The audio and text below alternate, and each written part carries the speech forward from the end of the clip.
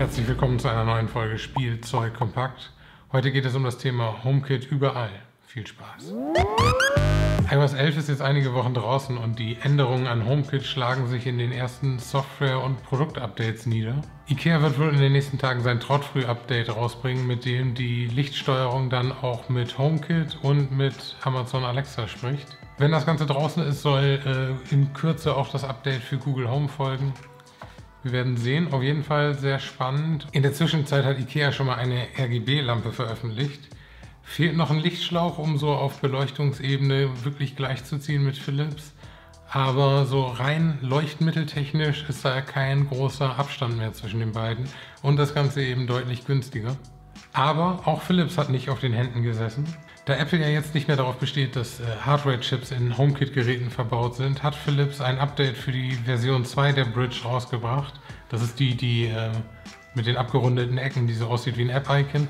Dafür gibt es jetzt ein Update, das es ermöglicht, dass sowohl der U-Tab als auch der Dimmer-Switch mit HomeKit funktionieren. Und das Update ist ganz cool. Also bei beiden Geräten äh, werden alle vier Tasten dann als separate HomeKit-Tasten benutzt. Das bedeutet, dass bei dem Dimmer-Switch die Dimmer-Funktion hier wegfällt. Äh, man dafür allerdings vier Tasten zu belegen hat. Und was das Ganze ermöglicht, ist, dass man eben nicht nur wie bisher mit diesen Schaltern ausschließlich U-Systeme schalten kann, also wie zum Beispiel die, die Lampen, die hinter mir stehen, sondern eben auch andere HomeKit-Geräte und damit auch Bedingungen anbinden kann, die zum Beispiel aus äh, Bewegungsmeldern kommen und so weiter, äh, die eben nicht von Philips sind. Oder eben Steckdosen anderer Hersteller steuern. Und das ermöglicht mir zum Beispiel das äh, Setup in der Küche, wo ich extra eine Logitech Pop Taste angeschafft habe, um äh, die U-Lampen und die Elgato Eve Energy Geräte gleichzeitig steuern zu können.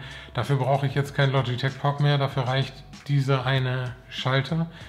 Und das bedeutet in meinem Fall, dass ich wieder eine Bridge in den wohlverdienten Ruhestand schicken darf, was aus Stromverbrauchsgründen ganz nett ist. Die Schalter selbst sind günstiger, sehen mehr aus wie wirkliche Lichtschalter und haben eben die Möglichkeit, vier Aktionen mit wirklich separaten Tastendrücken zu äh, auszulösen. Das ist beim Logitech Pop eben ein bisschen anders. Da habe ich an mit einem Knopfdruck, Doppeltap für aus und lang gedrückt halten für eine dritte.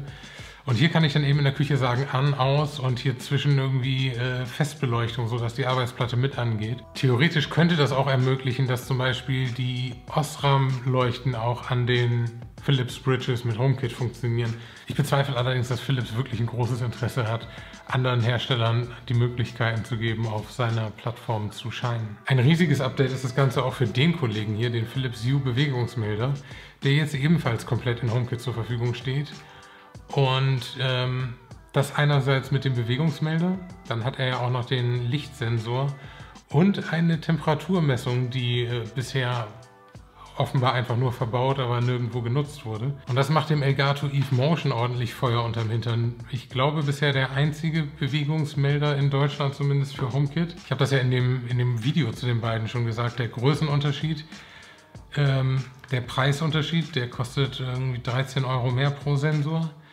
Der hier hat jetzt mehr Sensoren, ist kleiner, günstiger und die Schaltzeiten sind deutlich besser. Also aus meiner Sicht für jeden, der eine Philips Hue Bridge sowieso schon bei sich in der Wohnung hat, ist in Zukunft die Antwort relativ klar, welchen Bewegungsmelder man sich zulegen sollte. Das bedeutet aber nicht, dass ich zwangsläufig irgendwas ändern muss. Wenn ihr irgendwas eingerichtet habt, funktioniert ähm, das sowohl für die Schalter als auch für den Bewegungsmelder von Philips Hue genauso weiter wie bisher.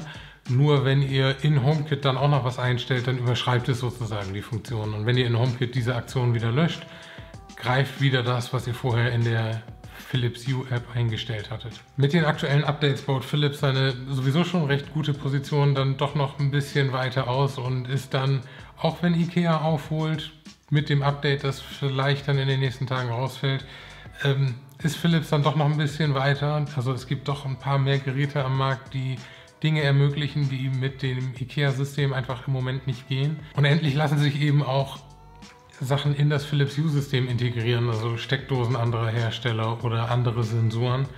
Und das ist doch schon ein, ein recht großer Pluspunkt und ermöglicht dann doch auf Philips Hue-Basis mit am meisten zu bauen im Moment. Ich bin aber auch gespannt, das Trottfree-System wieder hier irgendwie zu verteilen, sobald das Update draußen ist um mal zu gucken, was damit jetzt möglich ist, wie sich vielleicht auch die App entwickelt hat. Da wird es in naher Zukunft vermutlich auch ein Update geben, also wer das nicht verpassen möchte, auf jeden Fall den Kanal abonnieren. Und bisher stimmen die ersten Wochen mit äh, dem neuen HomeKit unter iOS 11 dann durchaus positiv. Also es scheint ein bisschen mehr Bewegung in den doch recht trägen Markt zu kommen. Die Konkurrenz zwischen den verschiedenen Systemanbietern kann sicherlich nicht schaden, dass vielleicht auch Elgato sich überlegt, wie man da noch ein bisschen was rausholen kann. Die Updates sind da auch schon ein bisschen länger versprochen, hat sich bisher leider noch nichts getan, was die neue iOS 11 HomeKit Geschwindigkeits-Update-Möglichkeit angeht. Wir werden sehen, was da in den nächsten Wochen noch auf uns einprasselt. Bisher fühlt es sich ziemlich gut an und wird es mir erlauben, hier in den nächsten Tagen mein, mein Setup in der Wohnung durchaus etwas einfacher, günstiger, komfortabler zu machen und vielleicht auch übersichtlicher. Auf jeden Fall bleibt es weiter spannend ähm, im Smart Home Markt. Wer das Ganze nicht verpassen will, wie gesagt, Kanal abonnieren. Wenn ihr noch Fragen zu äh, Trautfrüh, zu dem Elgato Eve oder den Philips Hue Sachen habt, schreibt sie gerne unten in die Kommentare. Falls dir das Video gefallen oder vielleicht sogar weitergeholfen hat, lasst gerne ein Like da. Ansonsten habe ich hier weitere Videos zu Trautfrüh und Hue und hier sonst das beste Video, was du dir auf jeden Fall als nächstes angucken solltest. Vielen Dank fürs Zuschauen, wir sehen uns beim nächsten Mal. Ciao.